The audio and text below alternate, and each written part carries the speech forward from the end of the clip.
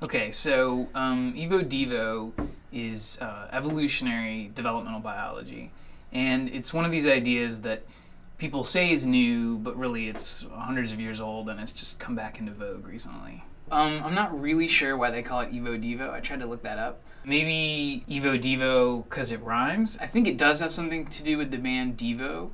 Um, wait, let me start again. You can sort of forget uh, that elaborate explanation for a bit because Evo Devo is really just about how genes work. The sort of old view of how genes work is that a gene is a, a blueprint for making a particular part of an animal. So if there's a million different kinds of animals out there, then there should be a million different kinds of blueprints, but it's not really the case. It turns out that even in two species that look completely different, like a mouse and a housefly, they both have the same gene that says make an eye. So how come the results are so different?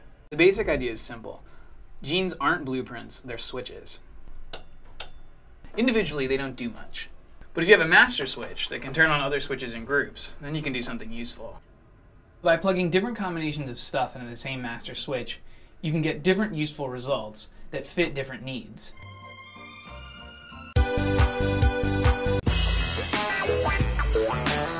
So that gene that says make an eye is just like this power strip.